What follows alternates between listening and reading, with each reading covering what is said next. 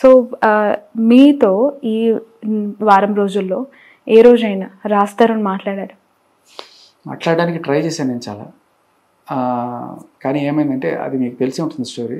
Raj Tarun SIM card ఏదైతే ఉందో EMI పేరు మీద ఉంది. అయితే ఈఎంఐ చూసింది రాస్తరుణ్ రకరకాలుగా రావడానికి మీడియా ముఖంగా నన్ను హంగామా చేసింది సూసైడ్ డ్రామాలు ఆడింది అని చేసింది. కానీ ఫైనల్గా ఏదో ఒకటి చేయాలి ఏదో ఒకటి చేయాలి రగిలిపోతుంది. అమ్మాయి పేరు మీద ఉంది కదా అమ్మాయి వెళ్ళి ప్రూఫ్ ఇచ్చేసి కొత్త సిమ్ కార్డ్ తెచ్చుకుంది ఆయన బ్లాక్ అయిపోయింది. ఓకే. సో సో ఇప్పుడు కాంటాక్ట్ వేరే నెంబర్ ఏదైనా తీసుకుంటే మనకి తెలుస్తుంది. అంటే ఈ ఇంటర్వ్యూస్ ఈ ప్రాసెస్లో తను మిమ్మల్ని మీతో మాట్లాడారు కానీ ఆయన ఫ్రెండ్స్ కొంతమంది. వాళ్ళ నాన్నగారు అలా కొంతమంది నాకు టచ్లోకి వచ్చారు. వాళ్ళతో మాట్లాడాను. ఓకే. వాళ్ళ పేరెంట్స్ రియాక్షన్ ఏంటి? ఈ పర్టికులర్ టైంలో నిజంగానే ఒక ఇష్యూ జరిగినప్పుడు సమాజం అంతా మహిళల పైనే ఒక లైక్ సింపతి అవ్వచ్చు. కాదమ్మా తప్పులేదు. వాళ్ళ అమ్మ కూడా అమ్మాయి లేడీయే కదమ్మా. ఇంకా పెద్ద ఆవిడ ఆ, ముసలి ఆవిడ మేబీ ఒక ఫిఫ్టీ సిక్స్టీ ఉండొచ్చు ఆవిడకి.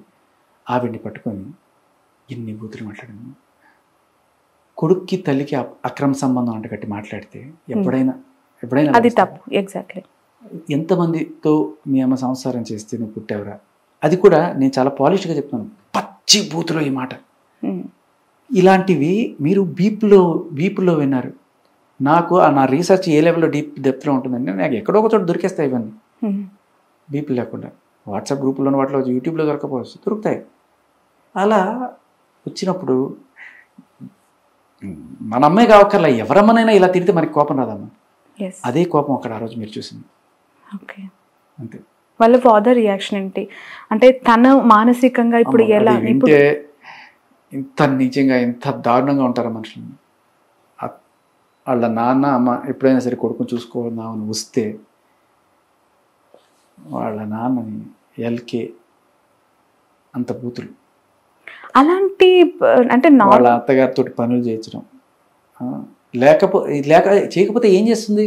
కొడుకున్నాడు కదా అని మీరు అనుకోవచ్చు. అద్దాలు పగిలిపోతాయి. టీవీలు పగిలిపోతాయి. హండ్రెడ్కి డైల్ చేసేస్తుంది. పోలీసులు వచ్చేస్తారు. ఆవిడకి గృహహింస ఇంక ఏదో ఒకటి నానా రకాల పెంట పెంట అయిపోతుంది అనమాట బట్ ఎప్పుడు కూడా ఇలాంటివి తెర మీదకి రాలేదు కదా గతంలో? అంటే సెలబ్రిటీ లైఫ్ యొక్క చీకటి కొనం ఇది అనుకుంటాం మనం వాళ్ళు బ్రహ్మాండంగా. షూటింగ్లో ఉన్నంతసేపే రాజధానికి సుఖం. షూటింగ్ నుంచి ఇంటికి వచ్చాడో కుక్క బతుకు స్టార్ట్ శేఖర్ గారు అసలు మీకు సంబంధం లేదు ముఖ పరిచయం అంటున్నారు. పక్కన ఒక నైబర్ లాగా ఉండి ప్రత్యక్ష సాక్షి లాగా ఎలా చెప్పగలుగుతూ ఉన్నారు? వినలేదమ్మా. మీరు వినండి. విన్ ఓకే వినడం వేరు కళ్ళతో చూడటం వేరు. కళ్ళతో ఎవ్వరు చూడలేరమ్మా. ఇద్దరు వాళ్ళు చెప్పాలి లేకపోతే మనం వినాలి. వాళ్ళ బెడ్రూమ్లో ఏం జరుగుతుందో మనం కళ్ళతో ఎట్లా చూస్తాం? అట్లీస్ట్ వాళ్ళ అమ్మని మాట్లాడాల్సిన అవసరం కూడా లేదు కానీ ఇంత నీచం అరాచకం జరుగుతుంటే కనీసం. అది కూడా పబ్లిక్ ప్రొఫైల్లో పబ్లిక్ డొమైన్లోకి వాళ్ళు వచ్చారు. రైట్. ఇప్పుడు ఇన్ వాళ్ళ లైఫ్ సాఫీగా సాగింది. మాల్వి ఎంటర్ అవటంతోనే ఈ ఇష్యూ స్టార్ట్ అయింది. ఎప్పుడమ్మా? మొన్న కదా? డిసెంబర్లో తను డిసెంబర్లో డిసెంబర్ ట్వంటీ త్రీ కదా మీరు చెప్పేది. మీరు అక్కడ ఉంది మీరు చూడండి. మస్తాన్ సాయి ఎప్పుడు ఎంట్రీ ఇచ్చాడు? Twenty one. అదే నా క్వశ్చన్. ఇప్పుడు ఈ మాల్వి ఎంటర్ అవ్వడంతో వీళ్ళ ఇష్యూ బయటికి రాలేదు అంతకు ముందు నుంచి కూడా వీళ్ళకి డిస్టర్బెన్సెస్ ఉన్నాయా?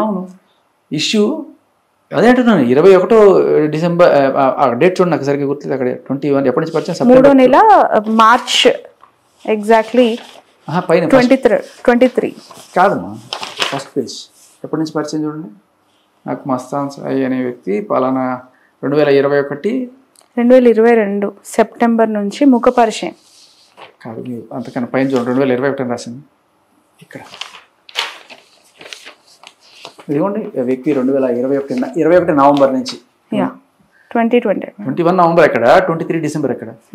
So years almost yeah Mastan అనే ఫ్రెండ్ ఫ్రెండ్తో క్లోజ్నెస్గా ఉండడు క్లోజ్తో క్లోజ్గా మూవ్ అవ్వటం వల్లనే రాస్తరుతో డిస్టర్బెన్సెస్ స్టార్ట్ అయ్యాయి. అఫ్ కోర్స్ అదే మస్తాన్ కావాలని ఇదే రాజధాని హెల్ప్ తీసుకుని వెళ్ళి నాన్న రచ్చ చేసి ఇంత చేసింది. వీళ్ళిద్దరు బ్రేకప్ అయిపోయారు అండ్ దేర్ హ్యాపీలీ బ్రేకప్ అంటే ఓకే. రాజ్ తరుణ్ అమ్మయ్య ఈ డ్రగ్స్ దరిద్రం అంతా వదిలిపోయింది నాకు.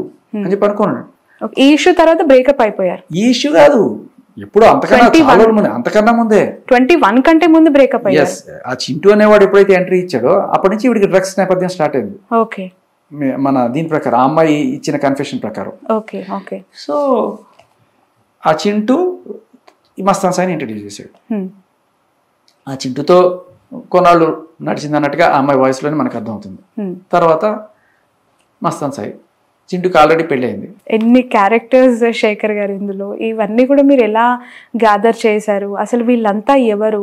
ఈ చంటి ఎవరు? చింటూ చింటూ ఎవరు అనేవాడు మస్తాన్ ఎవరు? అండ్ చింటూ అనేవాడు డ్రగ్ పెడ్లర్ ఓకే. వరలక్ష్మి కేసులో ఏ త్రీగా ఉన్నాడు. తర్వాత దీంట్లో ఏ ఏ వన్ ఈవిడ కేసులో. ఇన్ఫ్యాక్ట్ ఆయన అబ్స్కాండ్ అయ్యి దాన్ని ఏమంటారు ఇన్ఫార్మర్ గానో ఏదో మారుతారు కదా. ఆ చింటూ అనేవాడే పోలీసులకు ఇన్ఫర్మేషన్ ఇచ్చి ఈవిడ్ని అరెస్ట్ చేయించింది కూడా కారణం ఏమై ఉంటుంది అంటే రాజధాని కాదు. చింటూ ఇన్ఫర్మేషన్ వల్ల పట్టుకున్న పోలీసులకు కూడా ఆ రోజు న్యూస్ ఛానల్ మనం అది కూడా ఒక పెద్ద అంటే దిలీప్ గారు మాతో అనడం. అవన్నీ కూడా లాయర్ భాష వేరే ఉంటుందమ్మా లాయర్ అనేది క్లయింట్ని ఎప్పుడు ప్రొటెక్ట్ చేసుకోవడానికి తగ్గట్టుగా ఆయన ఆయన పాయింట్స్ అన్ని పెట్టుకొని చూస్తుంటాడు. మనకి క్రోనలాజికల్ ఆర్డర్లో ఇక్కడ మనకు అందుతున్న పబ్లిక్ డొమైన్లో దొరుకుతున్న సమాచారం ప్రకారం నేను మాట్లాడుతున్నాను.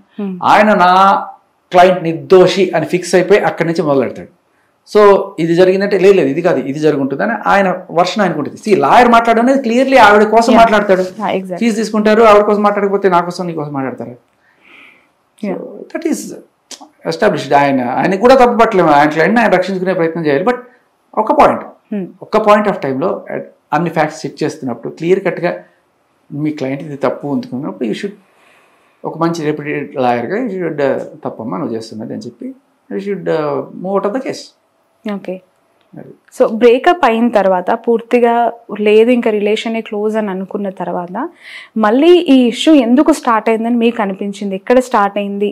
అండ్ ఇప్పుడు పెళ్ళి చేసుకున్నారు అనే వార్త అబార్షన్స్ చేయించారు అనే వార్త ఆ ఇంటి కోసం ఒక ఫైట్ పదిహేను కుక్కలు తన పైకి వదిలేసి వెళ్ళిపోతే ఫీడ్ చేయడానికి తన దగ్గర అమౌంట్ లేవు అని చెప్పి తను ప్రైమర్లీ చేసిన అలిగేషన్ నా ఇంటర్వ్యూలో ఆ అమ్మాయి కాకపోయినా ఆ ఇంట్లో పనివాళ్ళు ఉంటారమ్మా. ఓకే. అసలు పనులు కూడా డబ్బులు ఇవ్వకపోతే వాళ్ళు మానేశారు అని చెప్పి చెప్పింది. అవును.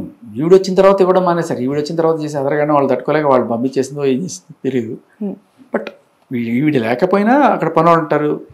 రాజతరుణ్ ఉన్నా రాజతరుణ్ చూసుకునేది ఉండదు పనోళ్ళు ఉంటారు వాళ్ళకి డబ్బులు ఇస్తారు వాళ్ళు చూసుకుంటారు. సో వాళ్ళకి డబ్బులు లేవు వీళ్ళకి డబ్బులు లేవు అనేది జస్ట్ కుక్ టప్ స్టోరీ.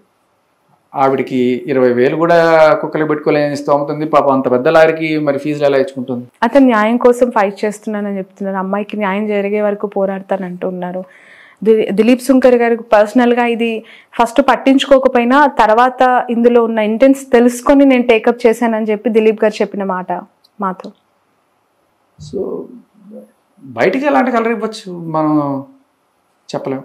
దానికి మనం ఏం చెప్తాం? ఆయన ఏమన్నా చెప్పొచ్చు. ఆయన మనసులో ఏముందో మనకి ఎట్లా తెలుస్తుంది? రైట్ శేఖర్ గారు యాక్చువల్గా మీలాగా రాజ్ తరుణ్ లాగా చాలా మంది అబ్బాయిలు సఫర్ అయి ఉండొచ్చు సఫర్ అవుతున్న వాళ్ళు ఉండొచ్చు. బట్ మీకు సపోర్ట్ ఆ స్థాయిలో అంటే లావణ్యకి దక్కినంత స్థాయిలో దక్కుతుందని భావిస్తూ ఉన్నారా? ఏమో నాకు అంతకన్నా ఎక్కువ దక్కుతుంది అనిపిస్తుంది. అవునా? ఎందుకంటే మీరు అన్నారు కదా ఇందాక న్యాయం న్యాయం న్యాయం అని. అది ఒకటి ఉంది నిజంగా బలంగా నమ్మడం వల్లేనేమో. ఇన్ని యూట్యూబ్ ఛానల్స్ ఒకళ్ళ తర్వాత ఒకళ్ళు ఒకళ్ళ తర్వాత ఒకళ్ళు ఒకళ్ళ తర్వాత ఒకళ్ళు పిలుస్తూనే ఉన్నారు. ఆవిడకి అర్థం కాని విషయం ఏంటంటే నేను ఆవిడ మీద ఏదో బుర్ర చల్లుతున్నానో లేకపోతే ఆవిడ మీద తప్పుడు ప్రచారం చేస్తున్నానో ఆవిడ అనుకుంటుంది. కానీ నిజానికి నేను ఏ ఛానల్కి వెళ్ళట్లా? ఆవిడ చెప్పాల్సింది ఏంటంటే అయ్యా ఈ శేఖర్ భాష గాడు ప్రధవ దరిద్రుడు దిక్కృష్టుడు వాడు గంజాయి అమ్మాయిలు తరుస్తాడు వాడికి వేరే పని లేదు వాడికి డబ్బులు లేవు. ఇలా నీచుడిని మీరు ఇంటర్వ్యూలు చేయకండి అని మీకు చెప్పాలి. మీరు వదిలేయాలి అది నమ్మేసి. అలా చెప్పమనండి మీరు వదిలేయండి. సరిపోతుంది. అప్పుడు ఆవిడకి అర్థమవుతుంది. జనాలు ఏది నమ్ముతున్నారో ఏది నమ్మరో. అంతే.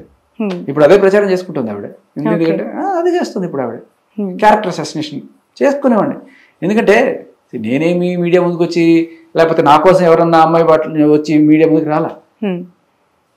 వాళ్ళు చేసింది కూడా ఎంత నీచమైన పని అంటే అది. ఇంట్లో నేను పెట్టుకున్న ఫోటో పూజించే అమ్మాయిని తీసుకొచ్చి ఏదో పేరు ఉన్న అమ్మాయిలాగా అట్లా అట్లా చిత్రీకరిస్తున్నారు. ఓకే. రాజ్ తరుణ్ ఇండస్ట్రీకి చెందినవారు అనేక సినిమాలు ఆర్టిస్ట్గా గత కొన్నేళ్ళ నుంచి కొనసాగుతున్నారు. ఈ ఎంటైర్ ఎపిసోడ్లో కనీసం తనకు పరిచయం ఉన్న వాళ్ళు కూడా బయటకు వచ్చి మాట్లాడలేదు. తనతో కలిసి నటించిన వాళ్ళు కూడా వచ్చి కనీసం ఒక స్టేట్మెంట్ ఇవ్వలేదు. ఇలాంటి సిచ్యువేషన్ని ఎలా అర్థం చేసుకోవాలి? అవుట్ ఆఫ్ దిస్ బాక్స్ నేను జనరల్గా అడుగుతున్నాను. ఒకసారి వాళ్ళు వచ్చారంటే అమ్మాయి తగులుకుంటారు వరుస పెట్టి. మాకు చెప్పండి మాకు బయట రాకపోయినా మిమ్మల్ని తగులుకున్నారు కదా. నేను ఉన్నా కదా అడ్డంగా వాళ్ళుగా. జస్ట్ స్పందించమని. యాక్చువల్గా మీరు అడిగిన క్వశ్చన్ కరెక్ట్. సి ఆమె రకరకాల నా పెళ్ళికి దేవుడే సాక్ష్యం కాకుండా ఆ, కొంచెం వరుణ్ సందేశ్ సాక్ష్యం లేకపోతే రాజా రవీంద్ర సాక్ష్యం వీళ్ళ సాక్ష్యం ఉంటుంది కదా. అప్పుడు నన్ను అడగడం కదా. మీరు ఇల్లు వాళ్ళని కదా అడగాల్సింది. మీడియా ఆ, నేను జనరల్గా మిమ్మల్ని అడుగుతున్నాను. ఎందుకంటే కొంతమందితో నేను అట్లాంటి ప్రయత్నాలు చేయను. ఆరోపణలు. వాళ్ళు ఏమనుకున్నారో నాకు అనవసరం. నేను ఓన్లీ లీగల్ డొమైన్లో ఉన్నవి తీసుకుంటున్నాను. ఎందుకంటే దాదాపు పదకొండు సంవత్సరాలుగా వీళ్ళు రిలేషన్లో ఉన్నమాట ఈవిడ బయట దేశానికి వెళ్తూ ఉన్నప్పుడు వెళ్ళిపోయిన తర్వాత వెనక్కి పిలిపించిన వ్యక్తి రాజా రవీంద్ర. అతను మాకు పెద్ద మా పెళ్ళి అన్ని విషయాలు రాజా రవీంద్ర గారికి తెలుసు అని చెప్పి ఆవిడ ఇచ్చిన స్టేట్మెంట్ ఈ రోజు వరకు రాస్తారు సరే. రాజా రవీంద్ర తనపైన వస్తున్న అలిగేషన్స్కి క్లారిటీ ఇవ్వడానికి కూడా మీడియా ఆయన ఫీల్ అవుతాడు పాపం. అంటే mean, ఆరోపణలు లేక తనకు తెలుసు మేము కాల్ చేసినా ఆయన రెస్పాండ్ అవ్వలేదు. రాజా రవీంద్ర గారు కాల్ చేస్తే కూడా రెస్పాండ్ అవ్వలేదు. అనూహ్యంగా శేఖర్ భాష తెరపైకి వచ్చారు. సో మే ఫస్ట్ అదే అంటున్నాను. మీరు ఇన్ఫాక్ట్ మీరు అందరూ కూడా నేను రాస్తున్న ఫ్రెండ్ అనుకుంటే ఫ్రెండ్ ఎట్లా అంటే తనకి ఒక శ్రేయోభిలాషిగా ఒక అన్యాయం జరుగుతున్న ఒక మగాడిగా తనకి సహాయం చేయడానికి వచ్చింది తప్ప. ఎందుకంటే మీరు నేను ఇస్తున్న ఇన్ఫర్మేషన్ చూడండి. Hmm. ఏది ఇంటర్నల్ ఇన్ఫర్మేషన్ కాదు. ఇవన్నీ పోలీస్ డొమైన్లో ఉన్న ఇన్ఫర్మేషన్ లీగల్ డొమైన్లో ఉన్న ఇన్ఫర్మేషన్ తప్ప Hmm. అండ్ అలాగే మనకి పబ్లిక్గా బయటకు వచ్చిన ఆడియో లీక్స్ తప్ప నేనేది రాజధాని ఇంట్లో ఉండి చూశాను లేకపోతే బట్ నేను దాన్ని నిశ్చితంగా విశ్లే విశదీకరించి విశ్లేషించాను అంతే. ఓకే ఓకే రైట్ హైదరాబాద్లో భార్యా బాధితుల సంఘం అని చెప్పి ఒక సంఘం. ఉంది. సో అలాంటి సంఘం కూడా దీనికి సంబంధించి కాదు. భార్య బాధితుల అనడం కరెక్ట్ కాదు. భార్య కాదు. ఎవరైనా సరే బాధించవచ్చు.